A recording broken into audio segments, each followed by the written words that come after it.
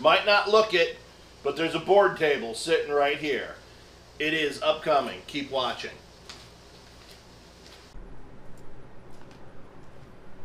All right, so now I'm working on the big board table. This is one of four slabs that I'm going to need to make this happen. Um, and what I'm going to do first is I have to remove all the bark from the live edge. It is a horrible idea to apply epoxy with the with the bark on there because the bark will not stay connected and that table will fall apart.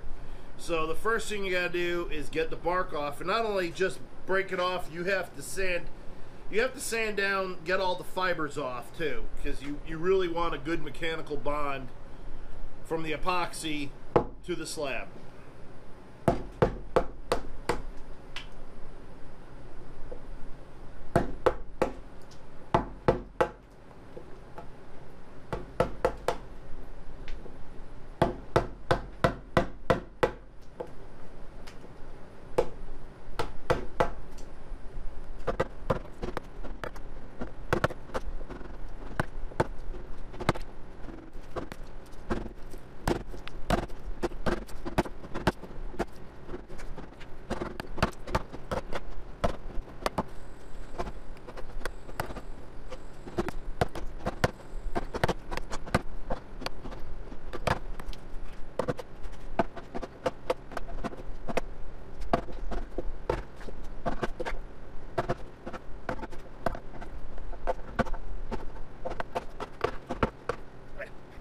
So now I use a flap sander that's designed for metal work, but works very good on an angle grinder to take off the the excess fibers and smooth off the uh, the live edge.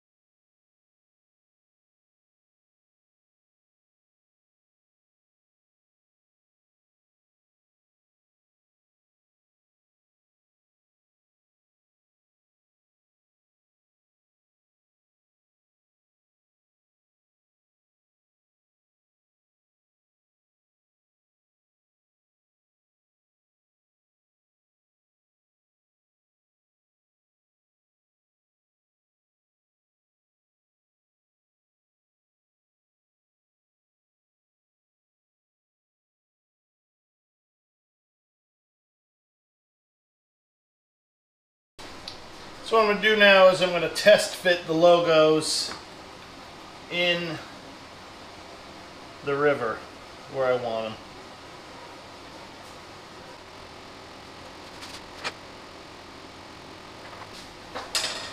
So what I'm doing is I'm going to have it so that they uh, visible from reading in one direction on one side and the other direction on the other side.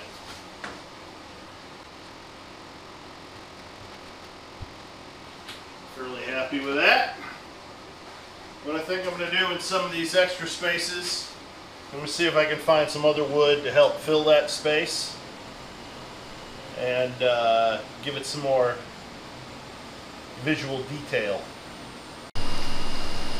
Alright, so I've got some filler pieces made up. I'm going to try to fill them, see how they look in uh, some of these areas that are bigger open areas.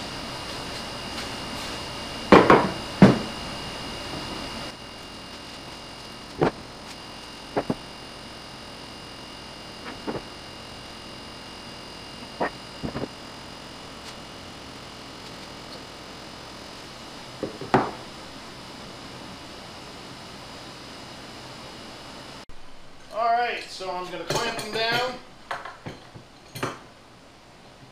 And then I'm going to vacuum out the river, make sure it's clean. I've already put down my um, mold release.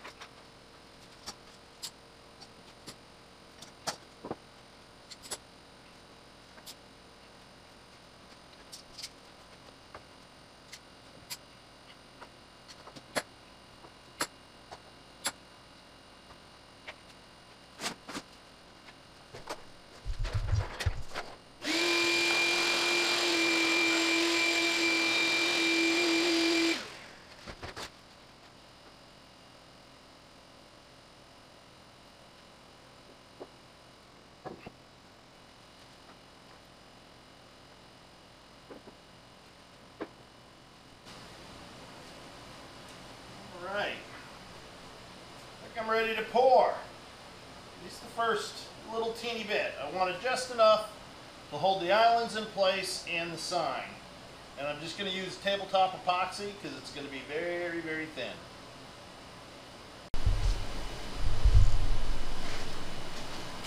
All right, it's time to mix up tabletop epoxy.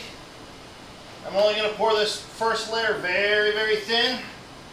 So tabletop epoxy will be fine.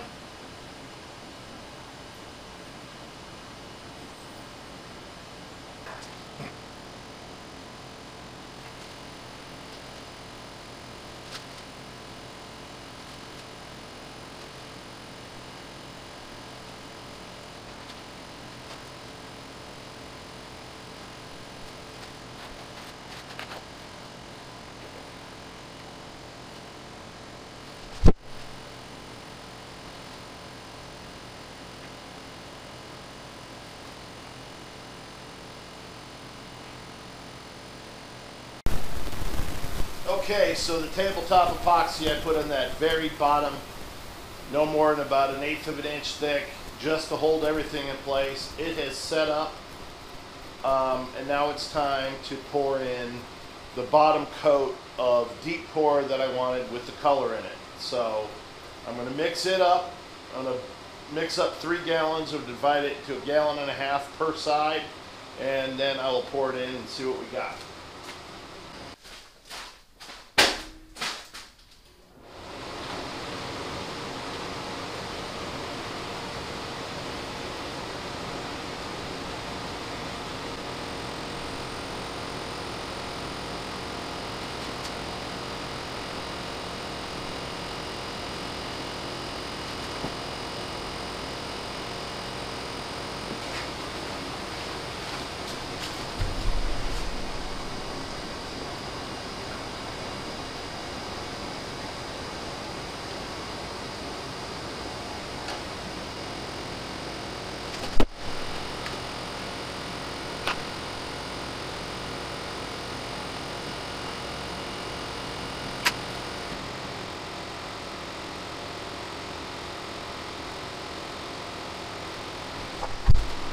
All right, that's actually looking pretty good. We knock down some of these bubbles, and I will stay checking on it from time to time.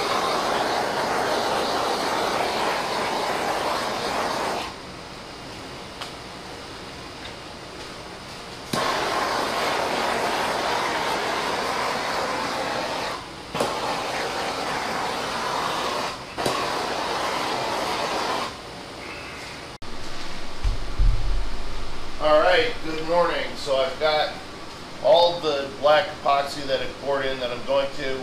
Now it's time to fill the rest with with clear, and I'm going to do it in probably uh, several lifts.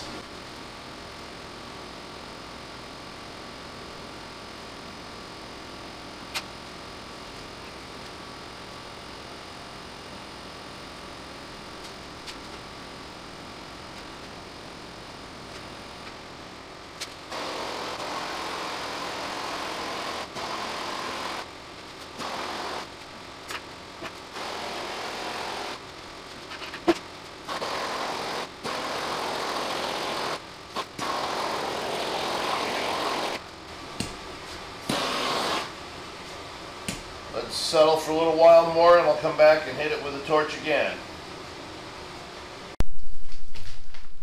Alright, now come out. It looks like it's cleared up pretty darn good. I'm going to hit it one last time just to be sure.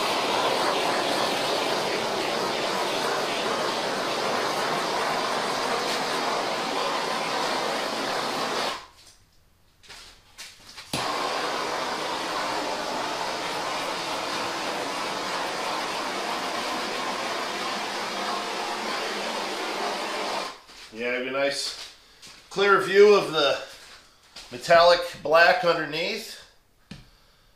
That's nice. I'm pretty happy with this so far. So hopefully, let's see, a day and a half, that means tomorrow evening, I should be able to pour the next uh, three gallons per side. Okay, I've got what I hope is the last uh, the pours uh, that I'm about to do. I'm going to add three gallons of clear to the tops of each of the rivers.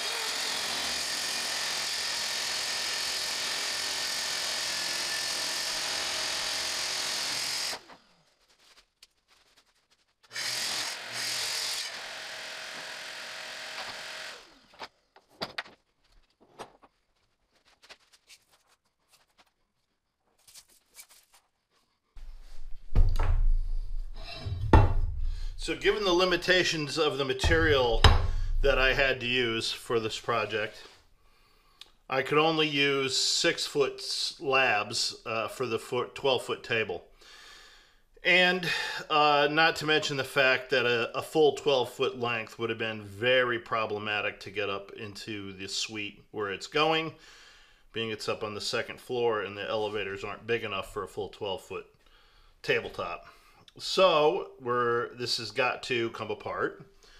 And um, one of the things we've done, uh, so instead of just joining the river straight on the two, the two individual tops, I put a divider piece in the middle, kind of break it up. And uh, in order to join all three sections together, we've made this metal plate.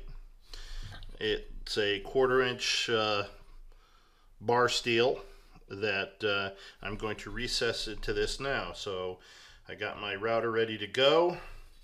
I've scored my uh, my lines that are the outline of the plate itself and uh, I'm going to uh, route it now.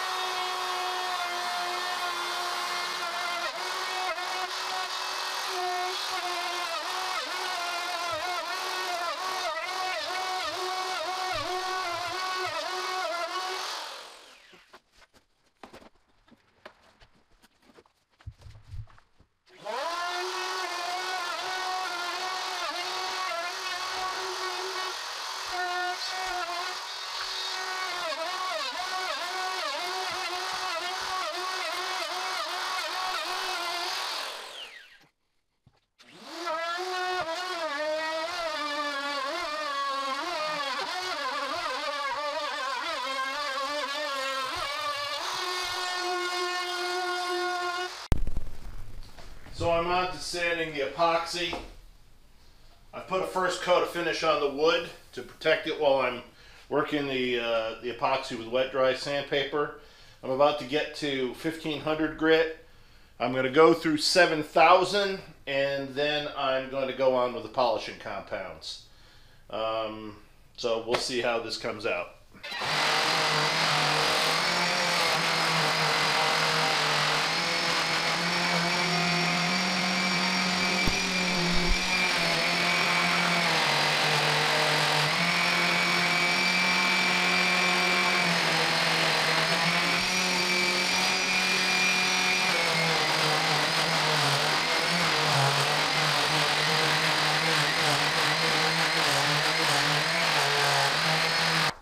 Okay, so it's time to get these ready for delivery.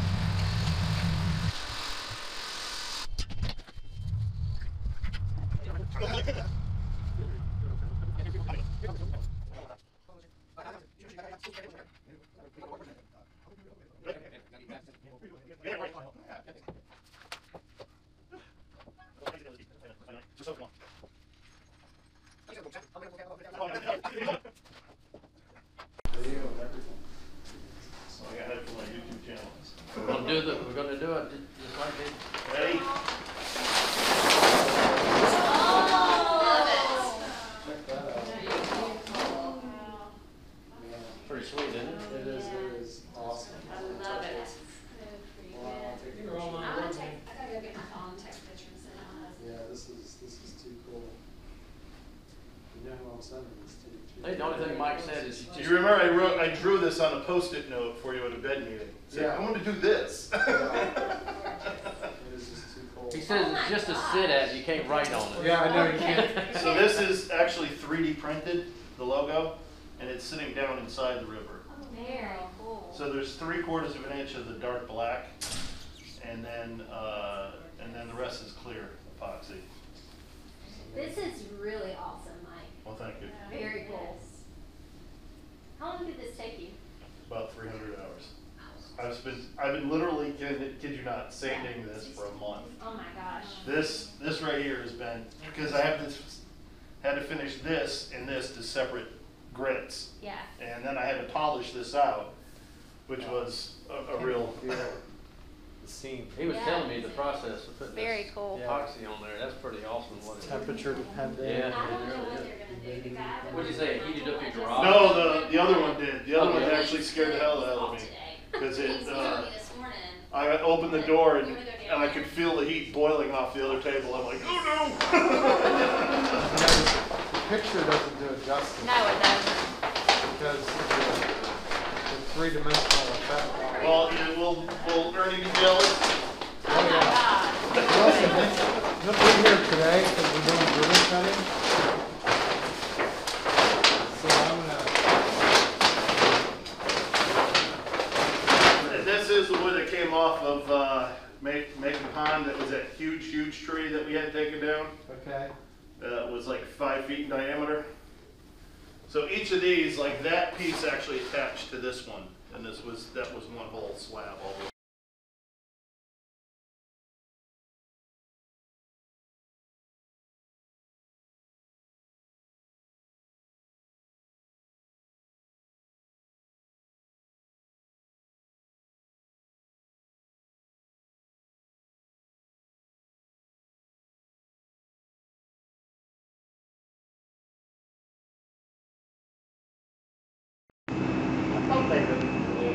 Here's my tables, cafe tables.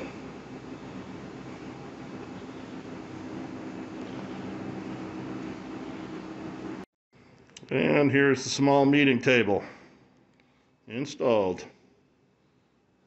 There it is. Here's my chaos space installed at UNC Rex Healthcare Holly Springs.